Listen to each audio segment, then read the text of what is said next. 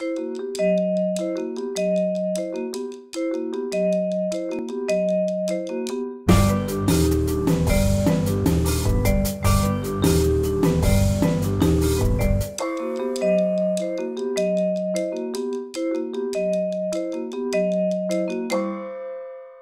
evening. Good evening. Uh, thank you all for coming. Welcome to Centro Primo Levi and to Casa Italiana. We are very grateful to Stefano Albertini and Casa Italiana and all his staff for having hosted us this series.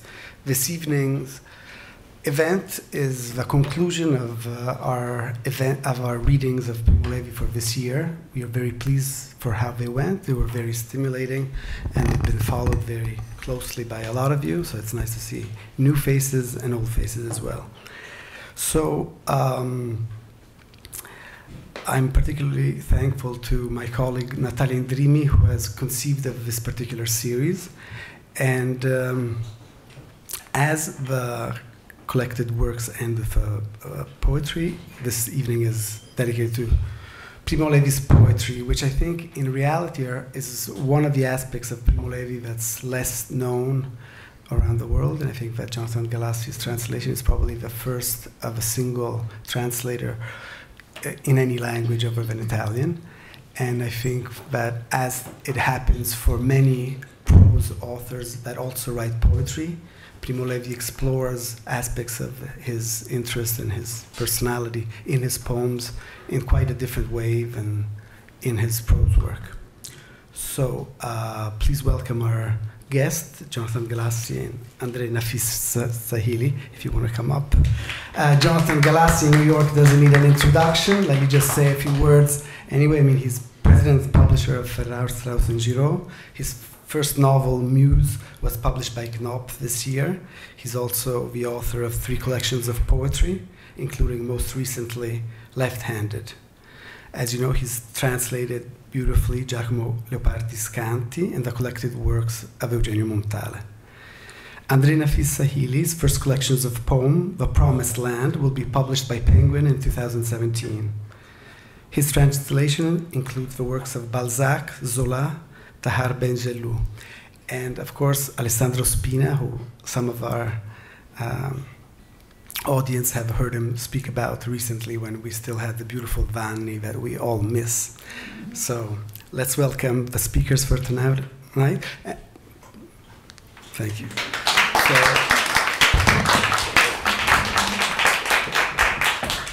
the format will be Andre will interview, uh, Jonathan will give some broad questions, and then they'll each read uh, Andre in Italian and Jonathan in English. Thank you very much.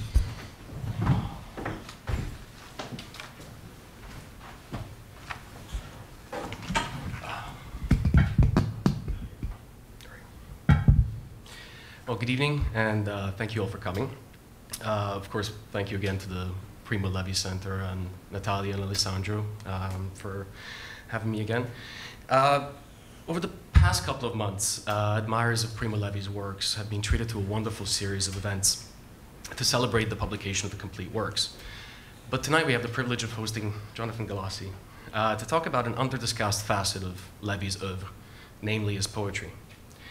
I'd like to begin this evening with some excerpts from one of my favorite stories of Levi's, The Versifier, which appears in the 1966 collection Storie Naturali, or Natural Histories, which was translated by Jenny McPhee. The Versifier begins with a poet asking his secretary what his schedule will entail that day. There's not a lot, she answers. Two convivial odes, a short poem for the young Countess Dimitropoulos' wedding, 14 advertising ditties, and a canticle for Milan's victory last Sunday. A trifle, the poet answers. Ah, if it weren't for that machine, and to think that you wanted nothing to do with it. Do you remember two years ago how exhausting and nerve wracking the work was? The play then goes on uh, back to years in time to re evoke the first day that the poet used his versifier. Mr. Simpson, an American salesman from the mysteriously named NATCA Corporation, visits the great poet uh, to make a presentation of his company's latest machine. First of all, the salesman begins, let's be perfectly clear. This is not a poet. If you are looking for a real mechanical poet, you'll have to wait another few months. The design is in its final stages at our headquarters in Fort Kidiwani, Oklahoma. It will be called the Troubadour, a fantastic machine, a heavy duty mechanical poet capable of composing in all European languages, living or dead, capable of writing poetry without interruption for 1,000 pages at minus 100 to plus 200 centigrade in any climate, even underwater and in high vacuum. And in a low voice, he adds, it's scheduled to take part in the Apollo project. It will be the first to sing of lunar solitude. The versifier is ostensibly simple machine. There are keys which can determine the tone, the style, and the genre of the poem, as well as the form, and all one needs to do is feed it a subject. When the versifier produces a test poem, the poet exclaims, Not bad, believe me, he tells his secretary. I know quite a few colleagues who couldn't do any better. Nevertheless, the secretary is frustrated with the machine, which she fears might take her job, and she insists on feeding him the machine a theme of her own choosing, a specifically vague one, uh, thus hoping to trip up the machine and secure her position. However, the versifier is very much up to the task, and it, or is it now a he, composes a chauvinistic ditty, which I think is absolutely wonderful. A girl worth taking to bed. There's nothing better, it said, I wouldn't mind trying it too. For me, it would be something new. But for her, poor thing, what torture. My frame is rock hard, that's for sure. Bronze, cast iron, bakelite, brass. She offers her hand and is met by things crass. She offers her lips and is met by a grok. She hugs me to her breast and gets quite a shock. After testing the machine several times. The, boy, the poet buys it, forking out $2,700. Levi is, of course, always specific. And as the play ends, the poet addresses the audience directly. I have earned the versifier for two years now. I can't say it has paid for itself, but it has become indispensable to me. It has proved to be quite versatile. Besides considerably lightening my load as a poet, it keeps my books and does my billing. It reminds me of deadlines, and it even takes care of my correspondence. In fact, I taught it how to write in prose, and it has become quite accomplished. The text you have just heard, for example, was composed by the versifier. So, thus, as the story ends, the machine ultimately takes over from its human owner. And I think the versifier is therefore a perfect example of Levi's satirical science fiction stories, which, aside from their ingeniousness and humor, can also be characterized as morality tales conceived around the simple premise that we are what we choose to be. After all, Mr. Simpson is not the devil. Uh, he is merely a salesman. And the choice of whether to dehumanize himself lies squarely with the poet, who chooses to do so out of convenience, perhaps even laziness. Twenty years later, Levi picked up his theme again, this time in a newspaper article for Genius magazine, which was printed in January 1985, just a couple of years prior to his death. In that space of time, of course, computers had been reduced from the size of half a room or thereabouts to Apple's tiny Macintosh. And in this rethinking piece, uh, entitled Can Poetry Get Along with Computers, Levi concludes The computer seems to me an excellent tool for clear and distinct tasks. Poetry is not one of them. It is fluid, oblique, continuous, surrounded by halos and shadows. It is no accident that while poems have been written for thousands of years, no definition has yet been formulated. No list of specifications has been universally accepted. In short, poetry is compatible with the computer, but has little to gain from it and nothing to fear. And yet, at the end, Levi hurriedly adds a postscriptum. I answered the question like an oracle, he writes, but now I begin to suspect that I spoke out of jealousy and fear. Like a Luddite, in the same spirit in which in the early 19th century the followers of Ned Ludd, afraid that their jobs would be lost, destroy the new weaving machines. Well, then, he says, I say it loud and clear. If I ever witness the birth of a machine for writing poetry that guarantees an output of reasonable quality and quantity and is not too expensive, I will buy one. But first, I will seek the advice of a lawyer, human or electronic, to find out whether I am authorized to sign the poems composed by the machine and who gets the royalties which of course always an important question. Um, as Tim Parks pointed out in a recent piece for the NYRB, Most of the articles and scholarship devoted to Levi have verged on hagiography, praising his positive humanism in the face of the Nazi horror, which perhaps helps to explain why his poetry is usually being overlooked. This is something that Alessandro mentioned in his um, introduction. Uh, Toni Morrison, among others, gives us a clue as to why. In her introduction to the complete works, she writes, Melancholy and sorrow often reside more in Primo Levi's poetry than in his prose. There we find insects, accusatory ghosts, and the sadness of plays. She employs quite a magical sentence when discussing two of his poems, which Jonathan and I will read for you later tonight Song of the Crow 1 and Song of the Crow 2, where she says that Levi's desolation is an inner reality monitored by a malevolent companion, which I think is a fantastic phrase. Um, Levi's poetry, I think, is possibly his clearest window into his inner reality. But this is a, an inner reality that we as a public do not seem entirely comfortable with. Uh, part of the reason possibly lies with the fact that Levi's poetry is utterly unlike his prose, which is extremely practical. In his memoirs, Levi anchors every line to specific facts. We learn what his prisoner number was, how people slept in the lager, what they ate, what questions they were allowed to ask. Contrast this scientific meticulousness with the opening lines of the poem Arrival, which is beautifully translated by Jonathan. Happy the man who's come to port, who leaves behind him seas and storms, whose dreams are dead or never born. Reading Levi's poetry entirely divorced from his prose, one might be more reconciled to the idea that he killed himself, an idea that is both, still both controversial and a conundrum that might never be solved. Many reject the hypothesis that Levi committed suicide precisely because of the possibility that a Holocaust survivor might actually succumb to the evil he or she suffered, deflates the triumph of the perseverance to survive, which he espoused, of course, throughout his works. Just as some find it difficult to believe Levi killed himself, others do not easily think of him as a poet. Levi himself didn't help the situation much. During an interview he gave in 1979, he stated that he didn't think his poems were worth much, and yet he always praised the art of poetry. In the short preface to An Uncertain Hour, his only collection of poems, he writes Poetry was certainly born before prose. Who among us has never written poems? Of course, in his typical manner, he then dismisses his own poems. I don't believe in the sacredness of art, he says, nor do I believe these lines of mine are excellent. Much of this was also, I, I, think, linked to his experience of getting his poetry out there. The magazines he submitted to them to in the late 1940s mostly rejected them, and even his usually faithful publisher, Einaudi, refused to print his first and only collection despite the success of his prose. In fact, as Domenico Scarpa tells us in his wonderful notes to the complete works, Levi had such little faith in his poems that when he published them for the first time, it was in a private edition of 300 copies, and the cover didn't even bear his name. To top it off, Levi composed very few poems in his lifetime, even though his first ever literary publication was a poem, Buna, about his life at the Monowitz Buna concentration camp.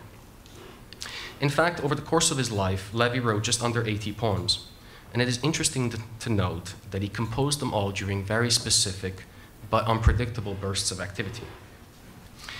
In the immediate aftermath of his deportation and long voyage home, um, and in the few years prior to his death. To give a precise timeline, Levi wrote 15 poems between December 28, 1945, two months after he returned to Turin, followed the, the Odyssey home. This is something he talks about in The Truce, and June 28, 1946. Then, over the course of the next 30 years, he only writes 12. Levi's last bursts of poetic activity take place between 1978 and 1984. And again from 1984 to 1987, writing his last poem just two months prior to his death. Thus, the closer Levi is to death, the more poetry he writes. And this seems an inescapable fact. Indeed, his very last poems smack of a man taking his leave from the world. Yet some of Levi's scientific attitude survives in his poems, which are all dated, just like Mayakovsky's. His choice of title for his definitive poetic testament is Ad ora incerta, at an uncertain hour, which is drawn from Coleridge's The Rime of the Ancient Mariner, and it thus seems completely appropriate. The poetic moment assails Levi, and all he can do is place a date, grounding his lyrics to his everyday life as best he can. So, although this is merely my opinion, I think we can consider Levi's poems as his emotional diary and see it as completely inseparable from his prose, which can perhaps be called a moral and intellectual diary. Now that we have a, a little background on the poems, uh, I'd like to ask you, Jonathan, how you first came to the project. Um, in his essay on Levi's reception in the US, Robert Weil tells us that his undertaking to publish Levi's complete works began in earnest in 1999 while Ann Goldstein joined the project in 2004. Uh, when were you approached to uh, translate the poems? First of all, I'd like to say that Ann is here tonight, and we should all thank her for.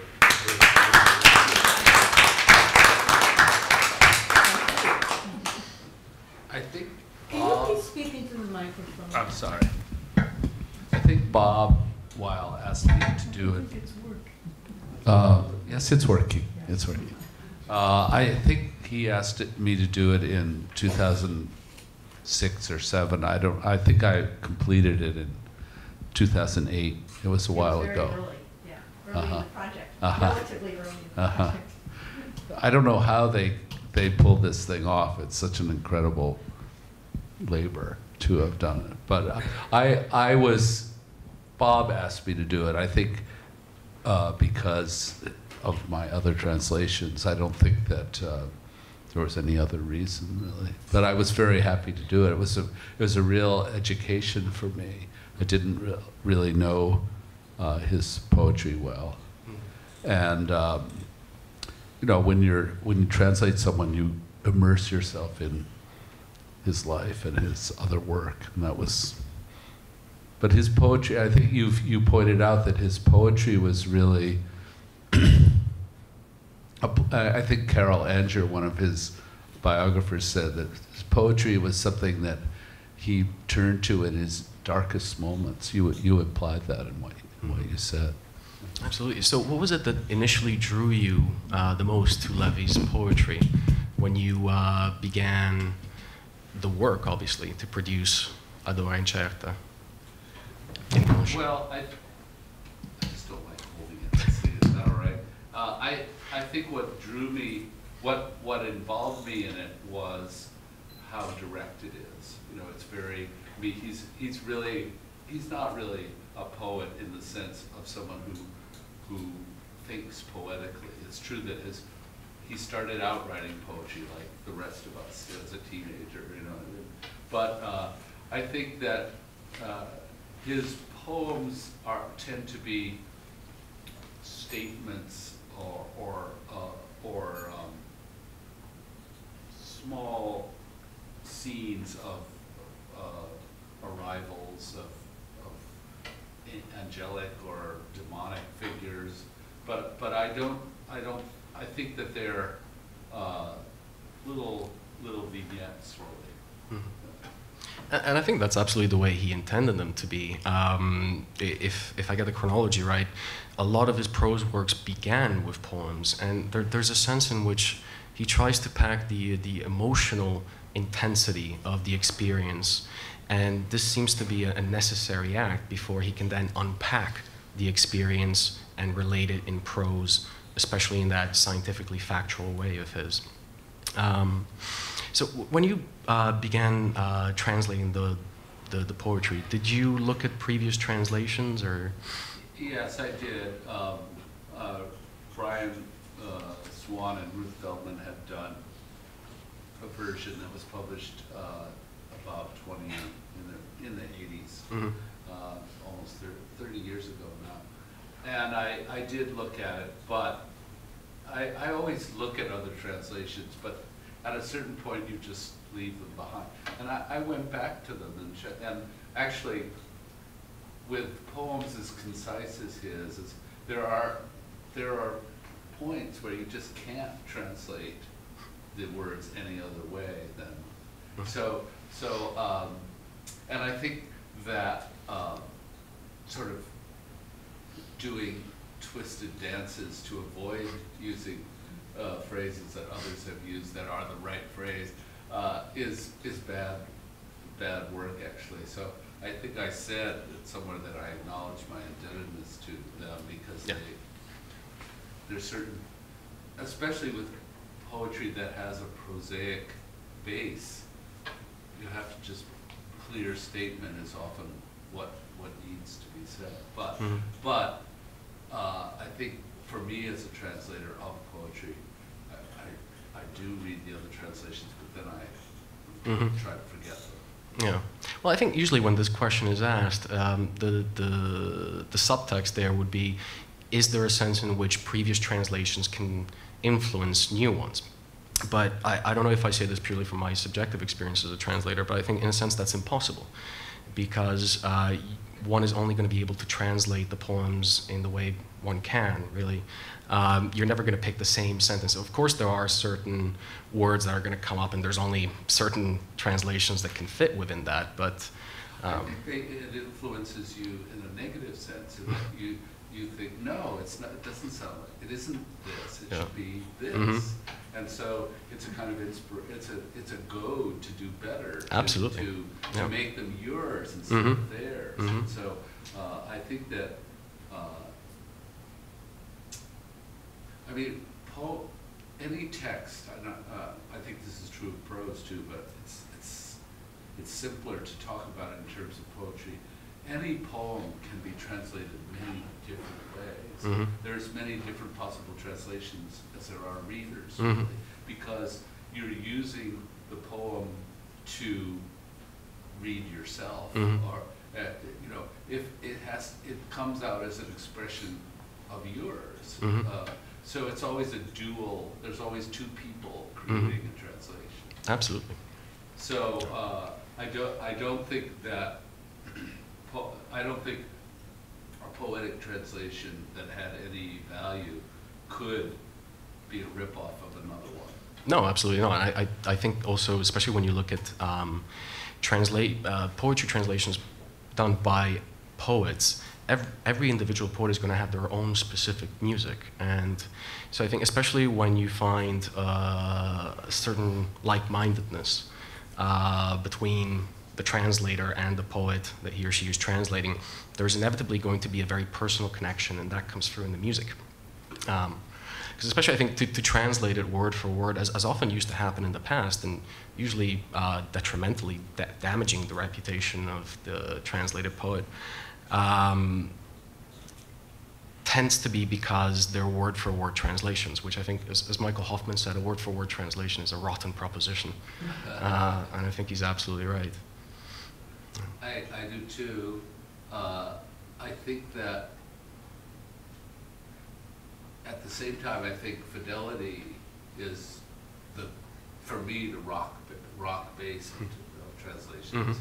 It may not be word for word, but you don't want to add in words that aren't there. No, you know? no, of course not. Uh, So, so I thi, I think that, um, it's, it's, it's always, I, what I was gonna say is, I think there is no one translation of a poem. So if you, if you want to really know the original poem in some way, reading multiple translations is always better. Of course, absolutely. And when you speak about fidelity, um, we're not talking merely about linguistic fidelity, are we? There's also, I mean, not to sound too new agey, but there's a spiritual fidelity too, right? Yes, and, and that's what I'm really talking about. Mhm. But your fidelity and my fidelity are gonna be different. Of course. Because we're different people. Mhm. Different, we have different literary, we've read, we've, we've absorbed different things. Absolutely. Now, I'm- very curious about your connection to the Italian language. I've been wanting to ask this question for, for a long time. Um, how did you first begin? begin? Well, Uh, did you spend much time in Italy?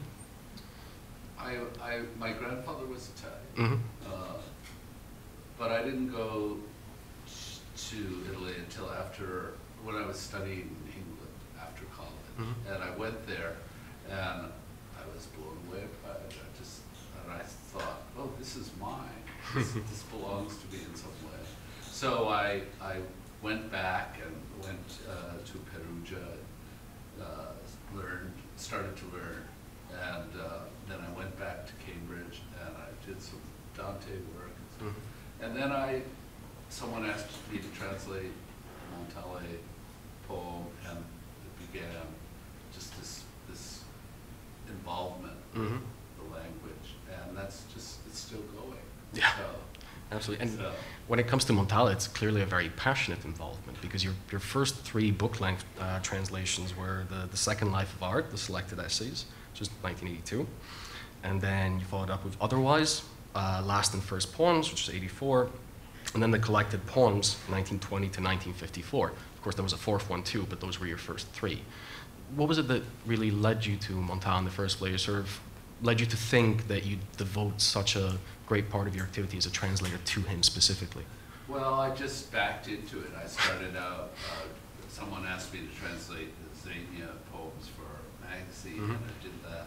And then I worked on his prose, and I slowly backed into working on his major work. And, uh, you know, earning the feeling that I had a right to do it was, it took a while.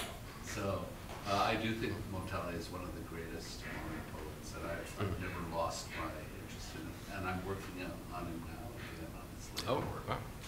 So a fifth Montale. Great. Um, you, you followed your Montale books with a translation, of course, uh, wonderful translation of Giacomo Leopardi's Canti. And it seems to me very interesting that both Montale and Levi repeatedly deny their association with Leopardi.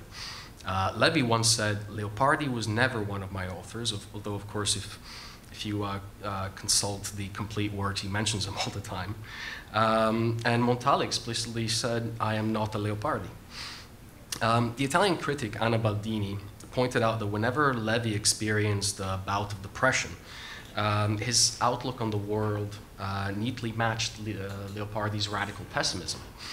Uh, and thus, this became something that Levi attempted to exorcise from his mind as best he could whenever he emerged from those depressions.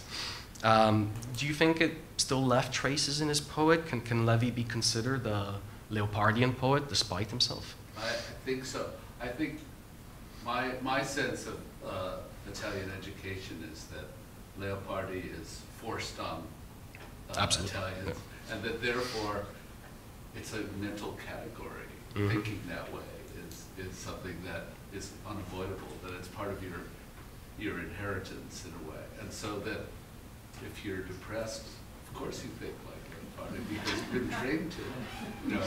Uh, and I think, I, I do think that uh, he's all through his poetry and his, his attitudes. If- And when he says he was never one of his authors, it's because he didn't want, he wanted to escape. Mhm. He I mean, I think in, in Levi, so much of what his, his work is, is trying to assert positivity Absolutely. and that this is his struggle Mhm. and um, and his triumph. Really. Mhm. Uh, and but I think in a way when he fell back into a depressive moment when he wrote poetry, Mhm. somebody was there waiting for him. Yeah. You know. Absolutely. Um, so, what else do you have in the works at the moment, apart from this new Montale? Um, Uh, well, I'm, re- I'm, I'm doing my job. Uh, and I'm trying to write another novel now, so, Wow, yeah. fantastic. But, but as far as translation goes, Mhm. I'm, I'm trying to work on the later Mhm. I actually, I did some of it in that, that book, otherwise, Altri Versi, which was his last book. Mhm. But now that I'm a little more educated in Montale, I, I found a lot of mistakes in my version, so I have to do it over. It's Right. part of this bigger project. well, uh, we can look forward to such a voluminous volume of uh, Montale translations from you at some point. Well. Collecting everything. Oh, That- well, that would be the- quite a the testament. first one is the Yeah. first three books, and the, Mhm. and the second one will be the others. yeah. And, Great. and Montale's later poetry is not as great as, as Mhm. his early, but there are many great things in it. Mm-hmm. Yeah. I never Great. lost interest in it. Lifelong dedication. Um, well, I think this would be a good uh, time to uh, read the poems um, in both English and Italian. But you're, you're the one, you, you're choosing. Ah, yes. You still have the list. Yes, but I, um, You can have great.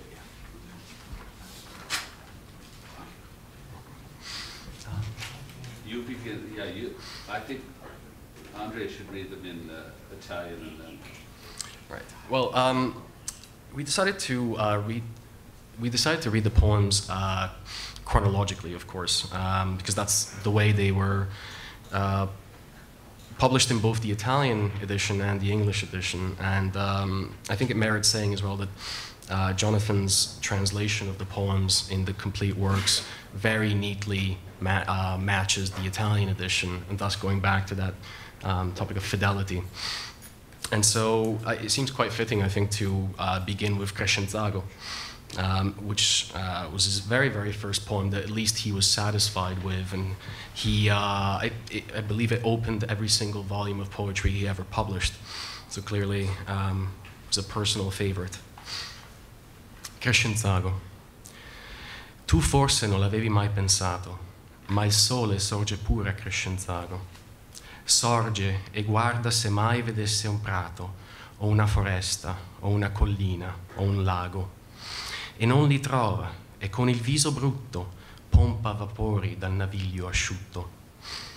Dai monti il vento viene a gran carriera, libero corre all'infinito piano, ma quando scorge questa ciminiera, ratto si volge e fugge via lontano, che il fumo è così nero e attossicato che il vento teme che gli mozzi il fiato. Siedon le vecchie a consumare l'ore e a numerar la pioggia quando cade. I visi dei bambini hanno il colore della polvere spenta delle strade e qui le donne non cantano mai, ma rauco e assiduo sibila il tramvai. A Crescenzago ci sta una finestra e dietro una ragazza si scolora ha sempre l'ago e il filo nella destra, cuce e rammenda e guarda sempre l'ora. E quando fischia l'ora dell'uscita, sospira e piange, e questa è la sua vita. Quando nell'alba suona la sirena, strisciando fuori dai letti scarmigliati, scendono in strada con la bocca piena, gli occhi pesti e gli orecchi rintronati, gonfiano le gomme della bicicletta e accendono mezza sigaretta. Da mane a sera fanno passeggiare la nera torva schiacciassi ansante, o stanno tutto il giorno a sorvegliare la lancetta che trema sul quadrante. Fanno l'amore di sabato sera nel fosso della casa cantoniera. I just want to say two things about the poem. One is, unlike most of his poems, the rhyme scheme there is very, very strong and they're very done. There's a, there are quite a lot of Dantesque associations there with this hellish landscape. So, Absolutely. Also, the thing about the, the girl standing at the window, that's a very Leopardian Mhm. moment. Mhm.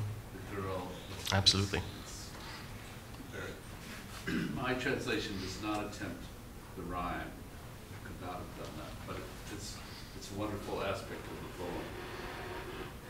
Maybe you never thought of it, but the sun also rises at Crescenzago.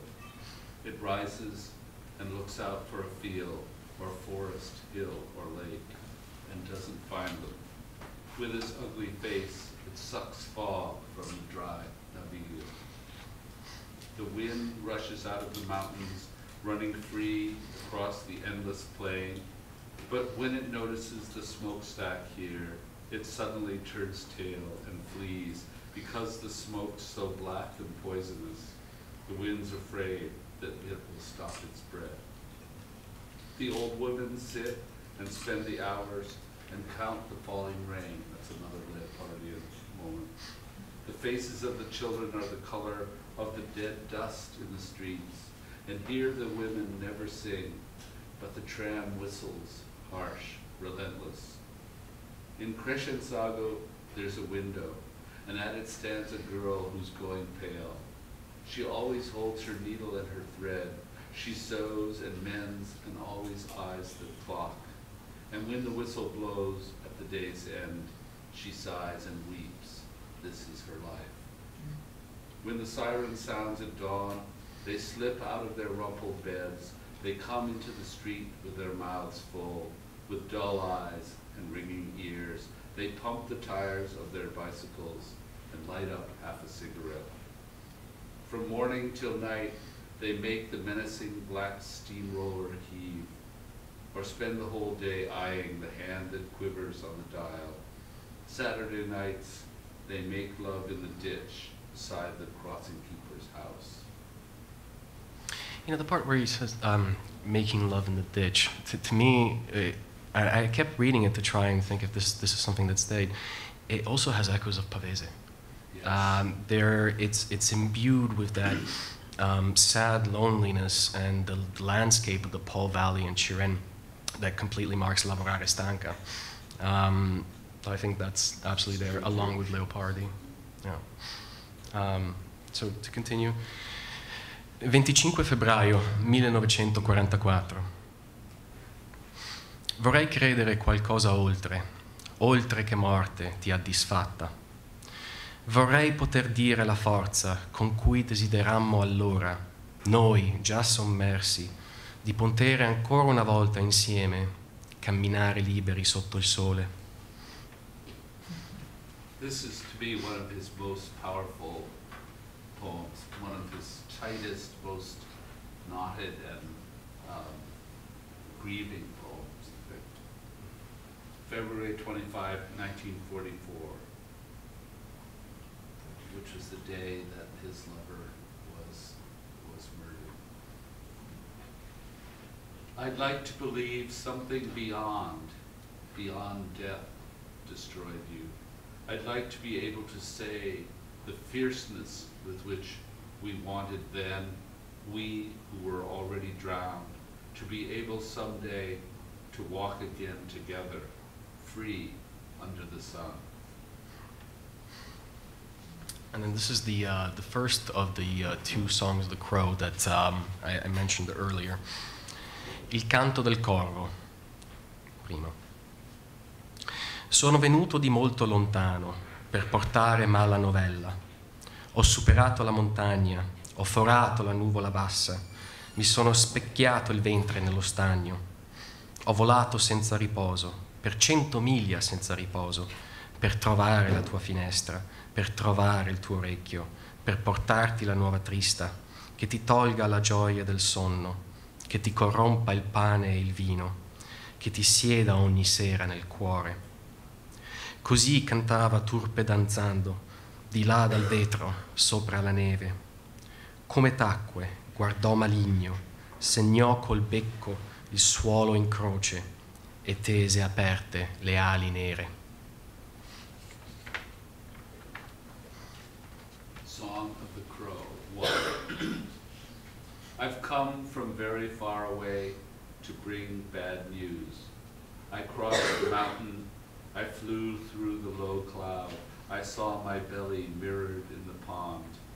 I flew without rest, a hundred miles without rest, to find your window, to find your ear, to bring you the sad news, to take the joy from your sleep, to spoil your bread and wine, to sit in your heart each evening. So he sang obscenely, dancing outside the window on the snow. When he stopped, he stared malevolent, etched a cross on the ground with his beak, and spread his black wings.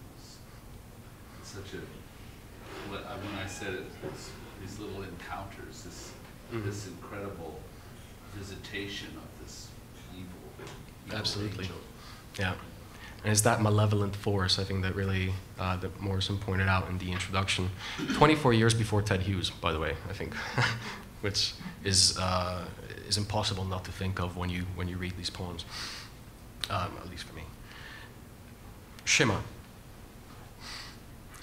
Voi che vivete sicuri nelle vostre tiepide case, voi che trovate tornando a sera il cibo caldo e visi amici, Considerate se questo è un uomo che lavora nel fango, che non conosce pace, che lotta per mezzo pane, che muore per un sì o per un no. Considerate se questa è una donna, senza capelli e senza nome, senza più forza di ricordare, vuoti gli occhi, è freddo il grembo come una rana d'inverno. Meditate che questo è stato, vi comando queste parole, scolpitele nel vostro cuore, stando in casa e andando per via, coricandovi, alzandovi, ripetetele ai vostri figli, o vi si sfaccia la casa, la malattia vi impedisca, i vostri nati torcano il viso da voi.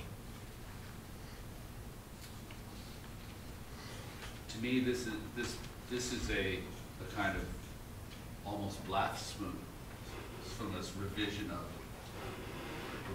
of the Jewish prayer, Shema. Um, and the, the title of his po, uh, book, uh, If This Is a Man, Se questo è un uomo, comes from this poem. Mhm. You who live safe in your heated houses, you who come home at night to find hot food and friendly faces, consider if this is a man who toils in the mud, who knows no peace, who fights for half a loaf, who dies by a yes or no. Consider if this is a woman with no hair and no name, with no more strength to remember, with empty eyes and a womb as cold frog in winter. Ponder that this happened. I consign these words to you. Carve them into your hearts, at home or on the street, going to bed or rising. Tell them to your children, or may your house fall down. May illness make you helpless, and your children turn their eyes from you. And you're absolutely right. There's there's something quite blasphemous about it. It's it's a secular prayer, really, and I, it's it's quite um, indicative, I think, of the fact that he, well, as he said himself many times, he, he was really his Jewishness was forced upon him by by the the Holocaust. Although I, I think something that uh, comes across in the stories, and not so often in the poems, but there's this always this wonderful sense of humor in Levi, this levity. Um, in fact, just just earlier today, uh, I um, was watching this interview that he gave uh, to Lucia Borgia on Rai, uh, the state broadcasting channel, uh, in 1984, just at the time that Ad Ora Incerta was was published. And he said something that had me in splits for half the afternoon. He said, you know, uh, usually uh, when Italians, because of their very nature, refuse to abide by the laws, this tends to be a very bad thing. But uh, during uh, the Second World War, this vice turned into a virtue. And he was, of course, referring to the people who helped his mother and his sister and helped to hide them. Um, there we go. Alzarsi. Sognavamo nelle notti feroci, sogni densi e violenti, sognati con anima e corpo. Tornare, mangiare, raccontare, finché suonava breve e sommesso il comando dell'alba, the Stawach, e si spezzava in petto il cuore. Ora abbiamo ritrovato la casa, il nostro ventre è sazio, abbiamo finito di raccontare. È tempo. Presto udremo ancora il comando straniero, the Wstawać.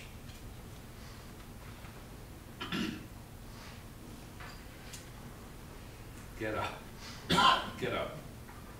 In the savage nights, we dreamed dense and violent dreams, dreamed with soul and body of returning, eating, telling, until the dawn command resounded curt and low, Wstawać, and our hearts broke in our breasts. Now we're home again. Our bellies are full. We've finished telling. It's time. Soon we'll hear again the strange command, Wstawać.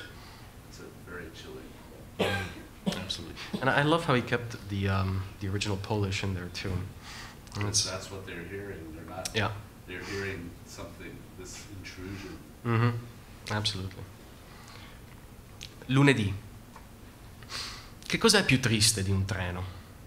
Che parte quanto deve, che non ha che una voce, che non ha che una strada. Niente è più triste di un treno. O forse un cavallo da tiro. È chiuso fra due stanghe, non può neppure guardarsi a lato. La sua vita è camminare. È un uomo? Non è triste un uomo? Se vive a lungo in solitudine, se crede che il tempo è concluso, anche un uomo è una cosa triste. Monday. What is sadder than a train that leaves on time, that only makes one sound, that only goes one way? Nothing is sadder than. Unless it is a cart horse.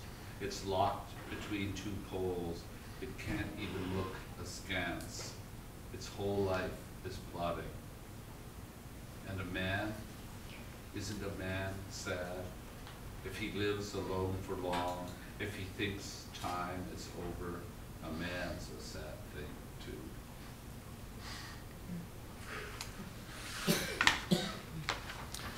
Un altro lunedì. Dico che finirà all'inferno. I giornalisti americani, i professori di matematica, i senatori e i sagrestani, i ragionieri e i farmacisti, se non tutti in maggioranza, i gatti e i finanzieri, i direttori di società, chi si alza presto la mattina senza averne necessità. Invece vanno in paradiso i pescatori e i soldati, i bambini, naturalmente, i cavalli e gli innamorati, le cuoche e i ferrovieri, i russi e gli inventori, gli assaggiatori di vino, i saltimbanchi e i lustrascarpe, quelli del primo tram del mattino che sbadigliano nelle sciarpe.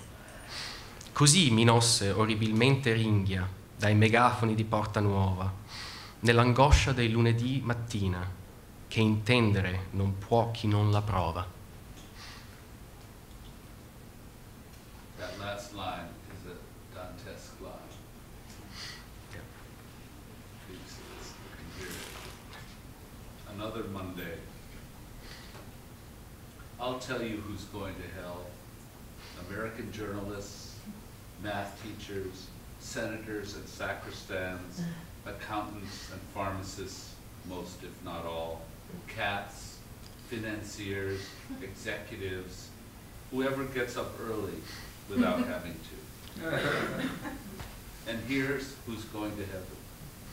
Fishermen and soldiers, babies naturally, horses, lovers, cooks and railway men, Russians and inventors, wine tasters, charlatans and shoe sign boys, people on the first train in the morning yawning into their scars. So Minos snarls horrifically from the megaphones of Porta Nuova in the anguish of Mo- Monday morning that one has to know to understand. Il tramonto di Fossoli.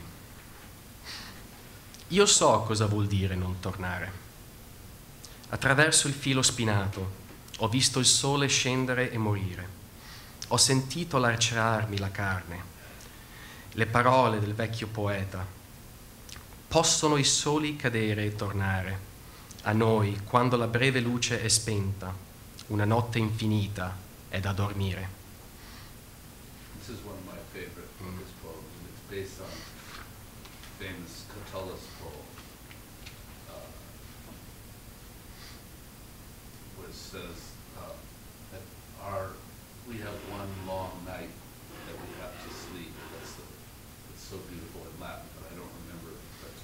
Sunset, beautiful.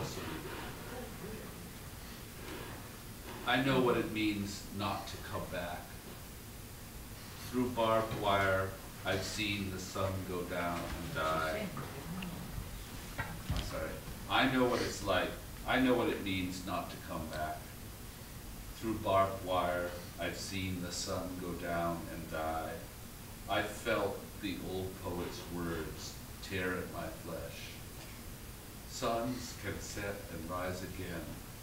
For us, once our brief light is spent, there's one endless night to sleep.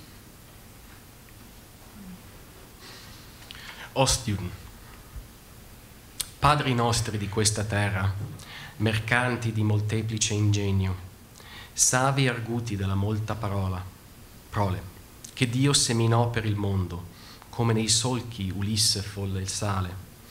Vi ho ritrovati per ogni dove, molti come l'arena del mare, voi popolo di altera cervice, tenace povero seme umano.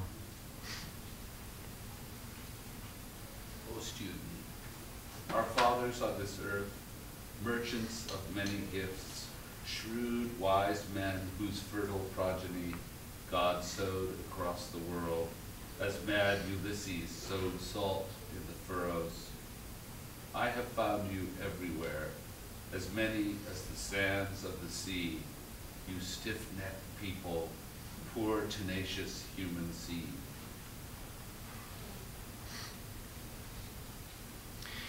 11 febbraio 1946. Cercavo te nelle stelle quando le interrogavo bambino. Ho chiesto te alle montagne, ma non mi diedero che poche volte solitudine e breve pace. Perché mancavi? Nelle lunghe sere meditai la bestemmia insensata che il mondo era uno sbaglio di Dio, io uno sbaglio del mondo. E quando, davanti alla morte, ho gridato di no da ogni fibra, che non avevo ancora finito, che troppo ancora dovevo fare, era perché mi stavi davanti, tu con me accanto, come oggi avviene, un uomo, una donna, sotto il sole. Sono tornato perché c'eri tu.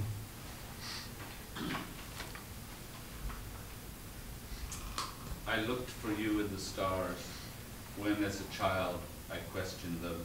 I asked the mountains for you, but all they gave me were a few moments of solitude and short-lived peace. Since you weren't there, those long evenings, I contemplated the mad blasphemy that the world was one of God's mistakes, and I was one of the world's. But when, in the face of death, I shouted no with every fiber, that I wasn't through, that, that I wasn't through, that I still had too much to do. It was because you were there in front of me. You were with me beside, with you with me beside you, as today, a man, a woman, under the sun. I came back because you were there. And the you, of course, here is, is his future wife, Lucia.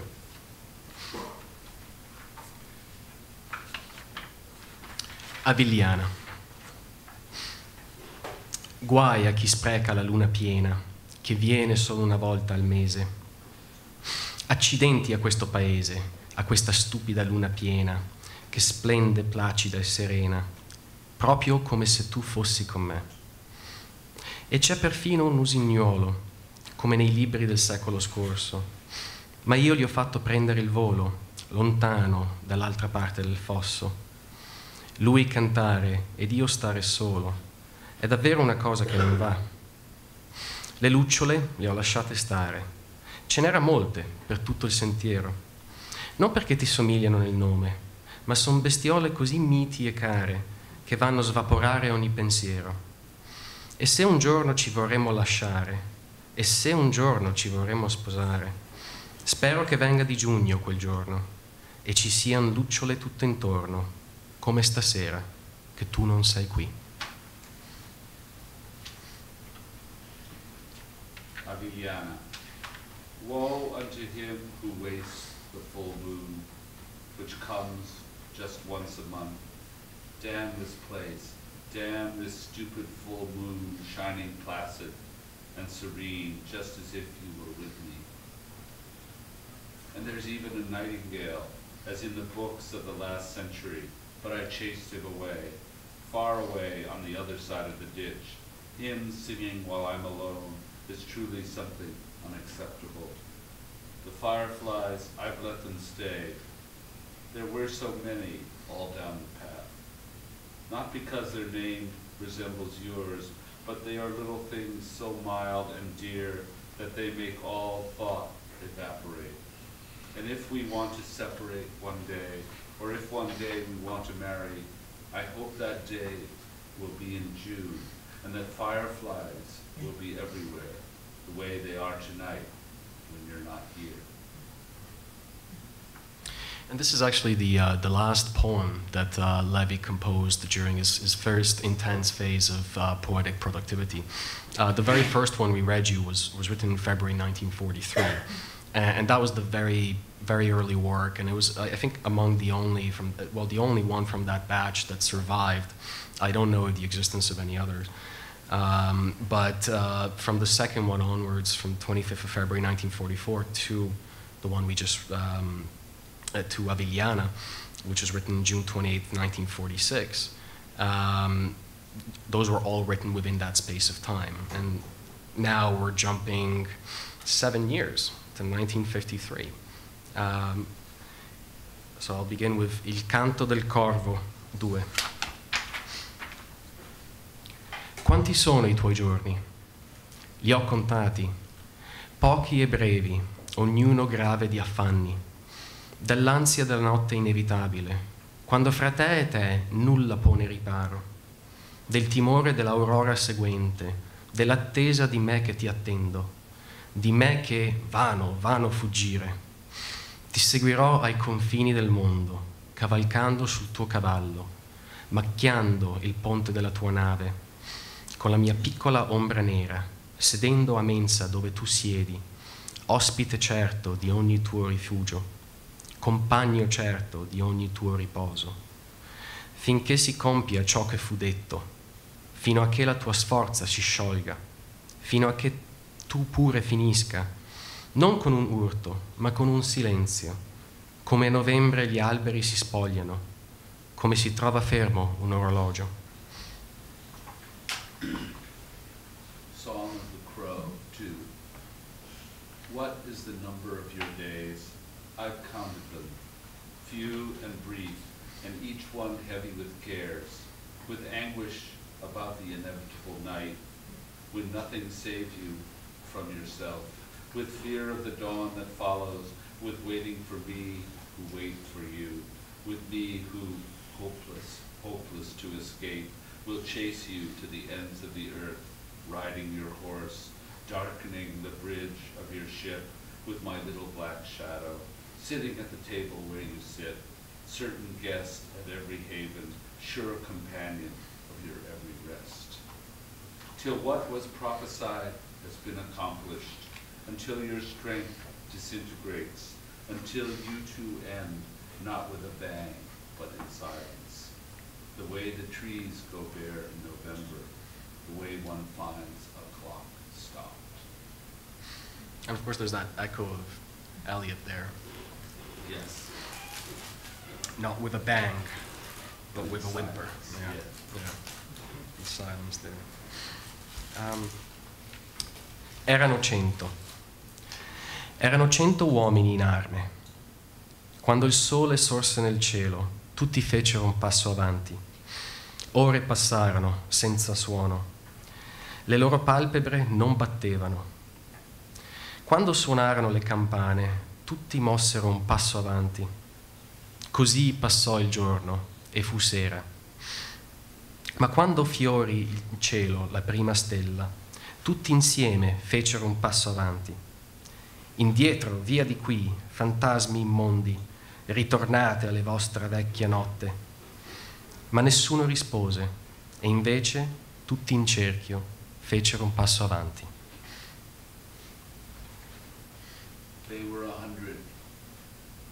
They were a hundred. Men at arms.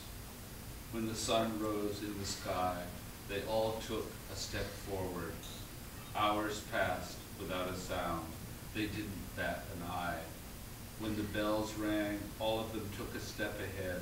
So the day went. It was evening.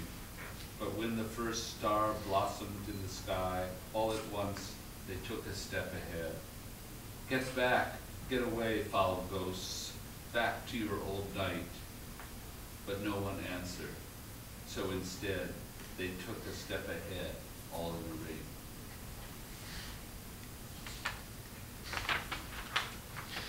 Per Adolf Eichmann. Corre libero il vento per le nostre pianure, Eterno pulsa il mare vivo alle nostre spiagge. L'uomo feconda la terra, la terra gli dà fiori e frutti. Vive in travaglio e in gioia, spera e teme, procrea dolci figli. E tu sei giunto, nostro prezioso nemico, tu creatura deserta, uomo cerchiato di morte. Che saprei dire ora davanti al nostro consesso? Giurerai per un Dio? Quale Dio? Salterai nel sepolcro allegramente? O ti dorrai come in ultimo l'uomo operoso si duole, cui fu la vita breve per l'arte sua troppa lunga, dell'opera tua trista non compiuta, dei tredici milioni ancora vivi. O figlio della morte, non ti auguriamo la morte. Possa tu vivere a lungo quanto nessuno mai visse. Possa tu vivere insonne cinque milioni di notti e visitarti ogni notte la doglia di ognuno che vide, rinserrarsi la porta che tolse la via del ritorno, intorno a sé farsi buio, l'aria cremirsi di morte. This is one of his most unforgiving and most powerful poems. Yep. For Adolf Eichmann. It was written at the time The wind runs free across our plains. The live sea beats eternal on our beaches. Man feeds the earth. The earth gives him flowers and fruit. He lives in torment and in joy. He hopes and fears. He bears sweet children. And you have come, our precious enemy, abandoned creature, man encircled by death. What can you say now before our congregation? Will you swear by a God? What God? Will you leap joyfully into the grave?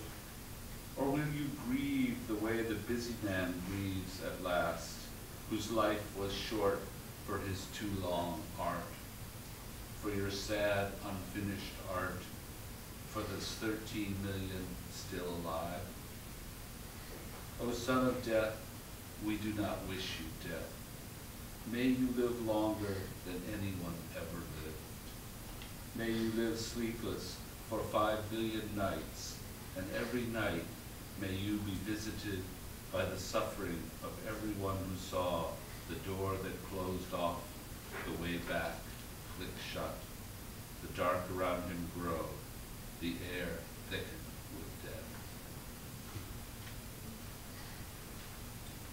It's absolutely one of his angrier poems, isn't it? It's um, very much a a poem of judgment. absolutely fitting.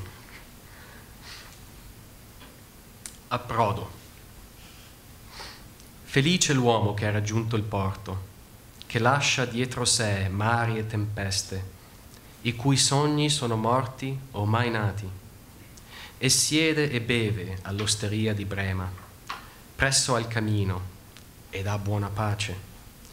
Felice l'uomo come una fiamma spenta, felice l'uomo come sabbia d'estuario, che ha deposto il carico e si è tersa la fronte e riposa al margine del cammino. Non teme, né spera, né aspetta, ma guarda fisso il sole che tramonta. This is a, poem based on a poem by Heine. Really about survival, I think, Mhm. and, and what's, what, what's left. It's one of his best, I think. Happy the man who's come to port, who leaves behind him seas and storms, whose dreams are dead or never born, who sits and drinks by the fire at the beer hall in Bremen and is at peace. Happy the man like a flame gone out, happy the man like estuary sand, who has laid down his burden and wiped his brow and rests by the side of the road. He doesn't fear or hope or wait, but stares intently at the setting sun. I mean, as Jonathan said, this was a translation, imitation. Um, and um, Psalm. Ashrei Ha'ish, Mitzvah. It's Psalm. first psalm. Hmm? It's a first, Tehillim. it's a first psalm, you know, it's a first psalm. Ashrei, Asher, it's a first psalm. You know, everybody in Israel had to memorize it. right. So, Um, and this was actually the, um, it, it gave the title to the first collection of poems that actually bore Levi's name, um, which in 1975 was published by uh, Vanni Scheiwiller, which I, who I think was a fantastic publisher, really some of the best writing in Italy. And it was called L'Osteria di Brema. And this was five years after that privately printed edition of 300 copies, which was, uh, didn't even bear his name on the cover. Um, so I think that merits saying. It, it's also an imitation that survives, whereas the translations that accompany Ad Ora Incerta did not. Um, Personally, I think that was a good decision, but there you go. Um, the next poem is La Bambina di Pompei, which, again, here, the last few poems were written in the 50s and early 60s, but now we're jumping to the late 70s. This is from 1978. La Bambina di Pompei. Poiché l'angoscia di ciascuno è la nostra, ancora riviviamo la tua, fanciulla scarna, che ti sei stretta convulsamente a tua madre. Quasi volessi ripenetrare in lei, quando al meriggio il cielo si è fatto nero. Invano, perché l'aria volta in veleno è filtrata a cercarti per le finestre serrate, della tua casa tranquilla, dalle robuste pareti, lieta già del tuo canto e del tuo timido riso. Sono passati i secoli, la cenere si è pietrificata a incarnare per sempre codeste membra gentili. Così tu rimani tra noi, contorto calco di gesso, agonia senza fine, terribile testimonianza di quanto importi agli dei l'orgoglioso nostro seme. Ma nulla rimane fra noi della tua lontana sorella, della fanciulla d'Olanda murata fra quattro mura, che pure scrisse la sua giovinezza senza domani. La sua cenere muta è stata dispersa dal vento, la sua breve vita rinchiusa in un quaderno sgualcito. Nulla rimane della scolara di Hiroshima, ombra confitta nel muro della luce dei mille soli, vittima sacrificata sull'altare della paura potenti della terra padroni di nuovi veleni, tristi custodi segreti del tuono definitivo. Ci bastano d'assai le afflizioni donate dal cielo. Prima di premere il dito, fermatevi e considerate. Uh, I think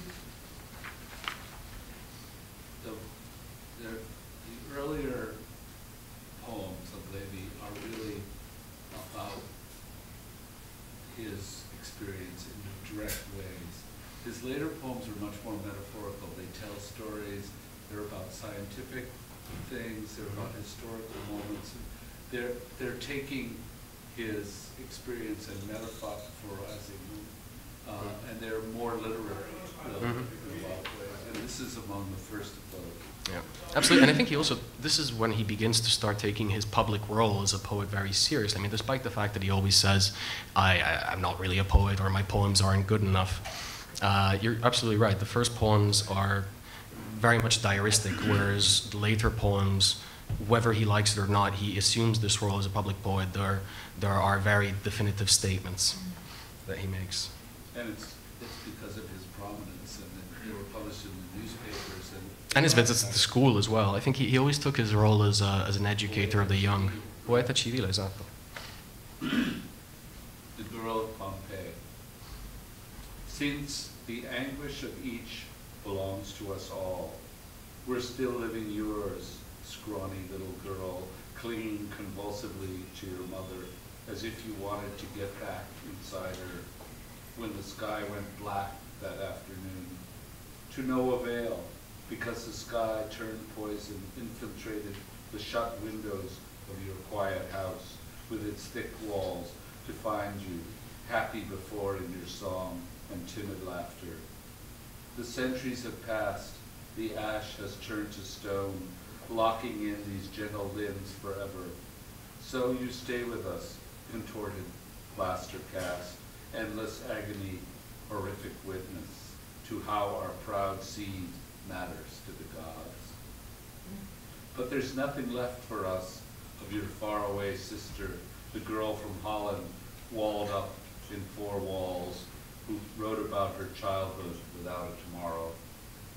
Her quiet ashes have been spread by the wind, her brief life held inside a crumpled notebook. Nothing's left of the Hiroshima schoolgirl, shadow transfixed on the wall by the light of a thousand suns, victim sacrifice on the altar of fear. Masters of the earth, lords of new poisons, sad secret guardians of definitive thunder, the afflictions heaven offers us are sufficient. Stop and consider before you push the button. It's an anti-nuclear poem. And now we go back to the, the poems that I, I mentioned earlier, um, which are poems that to me really smack of a man taking his leave from, from the world. Um, in fact, quite literally, as you're about to see from the opening lines of um, Le pratiche inevase. And this is entering the last phase of productivity of Levi's life. Uh, this is 1981, just six years before he died. Le pratiche inevase. Signore, a fare data dal mese prossimo, voglio accettare le mie dimissioni e provvedere, se crede, a sostituirmi. Lascio molto lavoro non compiuto, sia per ignavia sia per difficoltà obiettive. Dovevo dire qualcosa a qualcuno, ma non so più che cosa e a chi. L'ho scordato. Dovevo anche dare qualcosa, una parola saggia, un dono, un bacio. Ho rimandato da un giorno all'altro. Mi scusi, provvederò nel poco tempo che resta. Ho trascurato, temo, clienti di riguardo. Dovevo visitare città lontane, isole, terre deserte. Le dovrà depennare dal programma o affidarle alle cure del successore. Dovevo piantare alberi e non l'ho fatto. Costruirmi una casa, forse non bella, ma conforme a un disegno. Principalmente avevo in animo un libro meraviglioso, caro Signore, che avrebbe rilevato molti segreti, alleviato dolori e paure, sciolto dubbi, donato a molta gente il beneficio del pianto e del riso. Ne troverà traccia nel mio cassetto, in fondo, tra le pratiche in evase. Non ho avuto tempo per svolgerla. È peccato, sarebbe stata un'opera fondamentale.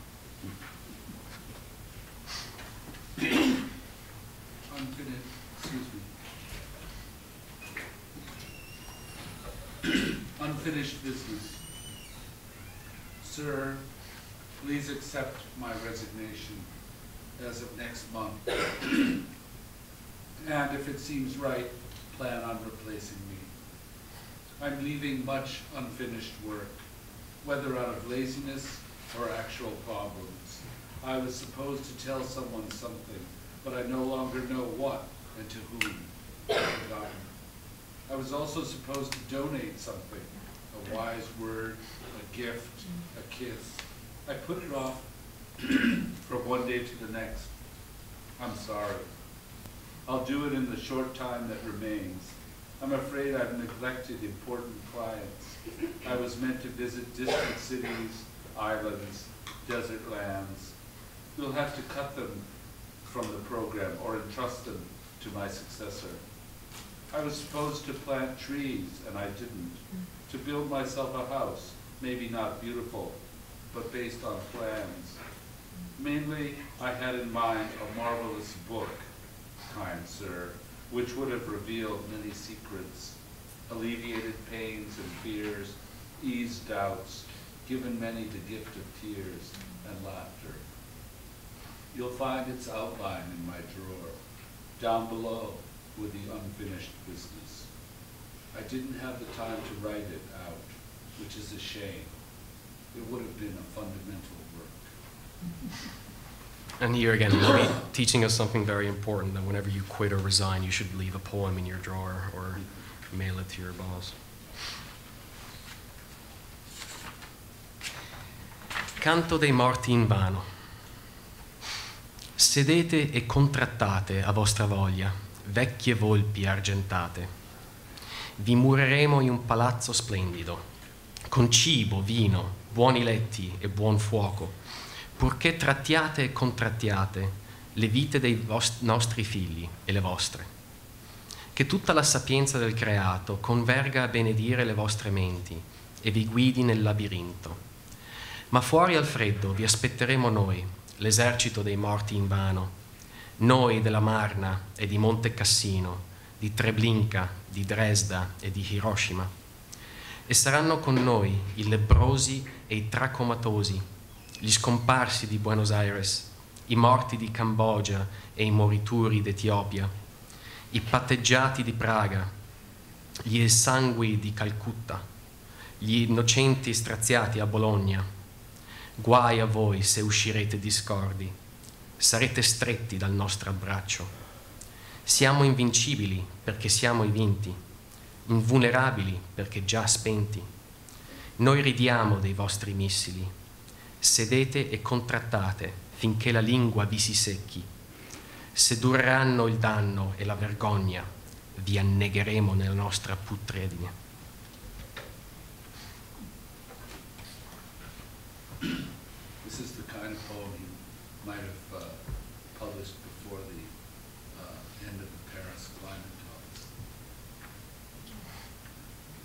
Sit and bargain all you want, old silver foxes. We'll wall you up inside a splendid palace with food and wine, good beds and heat, so you can argue and negotiate about our children's lives and yours. Let all the wisdom of creation converge to bless your minds and guide you through the labyrinth. But we'll be waiting outside in the cold. The army of the dead is made. We of the Marne and Monte Cassino, of Treblinka, Dresden, and Hiroshima. And with us will be the lepers and the victims of trachoma, the disappeared of Buenos Aires, the dead of Cambodia, and the dying of Ethiopia, the negotiated of Prague, the bled of Calcutta, the slaughtered innocents of Bologna. Woe unto you if you emerge with no agreement. We'll strangle you in our bear hug. We are, we're invincible because we're the defeated. We're invulnerable because we've died. We deride your missiles. Sit and negotiate till your tongues go dry. If the harm and shame go on, we'll drown you in our putrefaction. Very angry. Mm-hmm. And now we actually come to the end. This is Almanacco, or Almanac. Um, and it was the very last poem that Levi wrote prior to his death. Continueranno a fluire a mare i fiumi indifferenti o a valicare rovinosi gli argini, opere antiche d'uomini tenaci. Continueranno i ghiacciai a stridere levigando il fondo o da precipitare improvvisi, recidendo la vita degli abeti. Continuerà il mare a dibattersi, cattivo tra i continenti, sempre più avaro della sua ricchezza. Continueranno il loro corso solo stelle, pianeti e comete. Anche la Terra temerà le leggi immutabili del creato. Noi no. Noi, propagine ribelle, di molto ingegno e poco senno, distruggeremo e corromperemo sempre più in fretta. Presto, presto, dilatiamo il deserto, nelle selve dell'Amazzonia, nel cuore vivo delle nostre città, nei nostri stessi cuori. Almanac. This is a very Leopardian poem, and I have the text to prove it if you want to hear it. But this is one of his most beautiful, I think, and his last. The indifferent rivers will keep falling to the sea or ruinously overflow their banks, ancient works of persevering men. The glaciers will keep screaming, polishing what lies beneath, or abruptly avalanche, cutting short the lives of the evergreens. The sea will keep on struggling, caught between the continents, ever more jealous of its wealth. Sun, stars, planets, comets will continue on their course. Even Earth will fear the changeless laws of creation. Not we. We, rebellious offspring of great intelligence and little wisdom, will keep destroying and corrupting ever more frenetically. Quick, we spread the desert into the forests the Amazon, into our city's very hearts, into our own. And please read the um, Leopardi, although I have to say I think, the, uh, I think we should. we should leave it? Right. have the Okay. there we go. Thank you.